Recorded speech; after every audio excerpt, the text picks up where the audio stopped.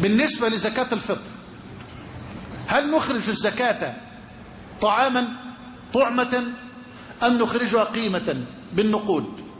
والجواب روى البخاري ومسلم من حديث أنس وغيره أنه صلى الله عليه وسلم فرض قال فرض رسول الله صلى الله عليه وسلم زكاة الفطر صاعا من شعير أو تمر إلى آخر الحديث.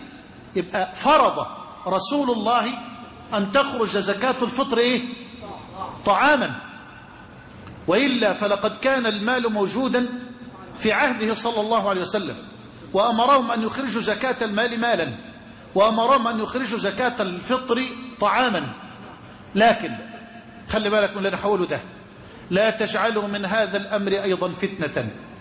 لا ينبغي أن نحيد عن ظاهر النص النبوي يعني عن الإطعام أن نخرج زكاة الفطر طعاما إلى غير الإطعام أي القيمة إلا لحاجة أو ضرورة.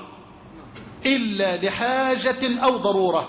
فإن كنت أنا أعلم من فقير بعينه حاجة ماسة للمال فلو أخرجت له أنا هذا المال فلا إثم إن شاء الله ولا حرج.